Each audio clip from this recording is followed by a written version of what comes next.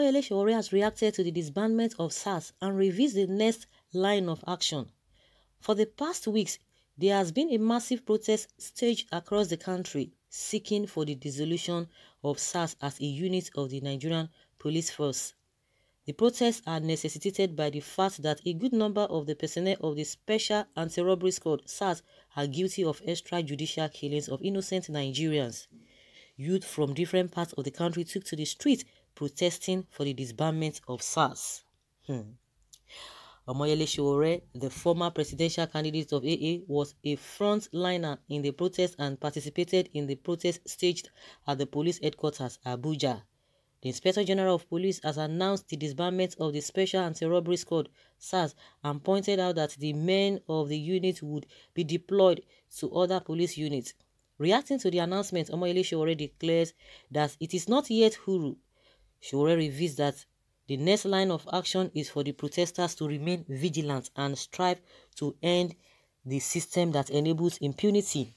According to him, this aspect is necessary so to so as to well be dismantled. Hmm. And he tweeted, he said, as earlier revealed, IGP Adamu of the Nigerian police has announced the dissolution of SARS, but it is not yet Uhuru. We must remain vigilant, strive to end the system that enables impunity. That too must be dismantled as well. Thank you, revolutionary citizens. Keep moving. Hashtag revolution now. Some people actually reacted to his tweet. And someone says here that uh, hate him or love Sowore, he just wants a better Nigeria that works for everyone. If he doesn't care, he will remain overseas with a crossed leg and watch. I love you, man. You are an inspiration. Next step is good governance. Nigeria, Nigeria youth underestimate themselves. Yes, I love him forever. He won my heart the first day I heard him speak. He spoke as a leader. You see, my fear? SARS officers will be redeployed to other units.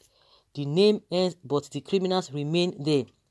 Not much will change, but the citizens have made a strong statement and that is our win.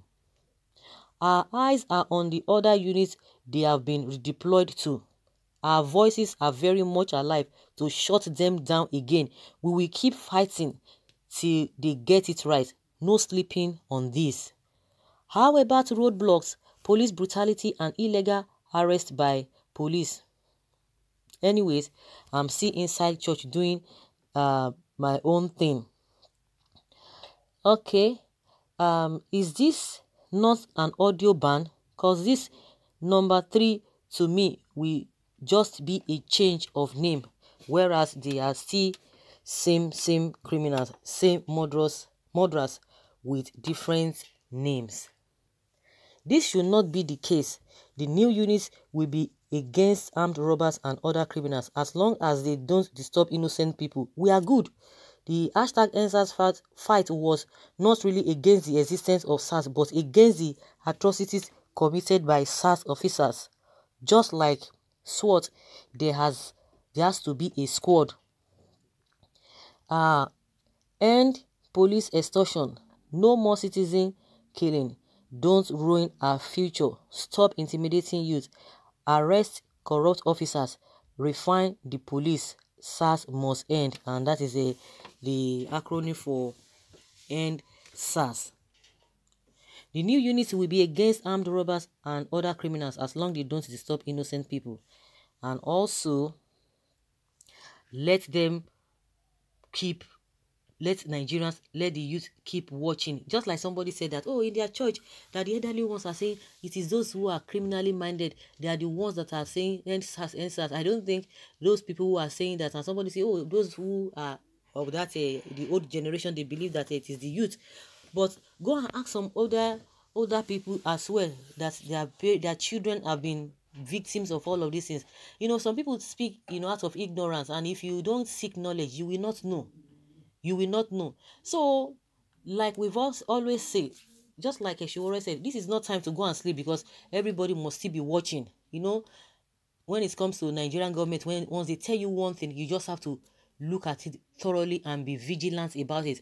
Just the same way they talked about a Ruga the other time. At the end of the day, they since then they've been coming with different different tactics, different different style to just be able to inculcate this eruga of a thing. But the more they come out, the more people begin to see the loopholes and they know that these guys are just trying to bring the ruga back again. So Nigerians, it is not over or it is over. And in other areas too, we just have to be we have to be vocal because we can't continue like this. People are people are just going outside the country, going through water, going through all this uh, uh, sea, and people just they, they, they, they, they ruin their lives over there. If people want to go outside the country, you have, you have to go in a grand style. You have to go in a grand style. When people they see you, they will respect your country, not that not going through a, a, a abnormal way because of what because the country is not yet settled and the so-called leaders are living at the expense of uh, the the youth so we need to demand for good governance demand for good governance that is the way to go. Because some people believe that uh, they are comfortable in their own way. So when you talk about all of this but no matter how rich you are in this country you are still suffering. Because some things that you're supposed to just get easily you begin to suffer you begin to get stress yourself you spend and spend and spend and spend.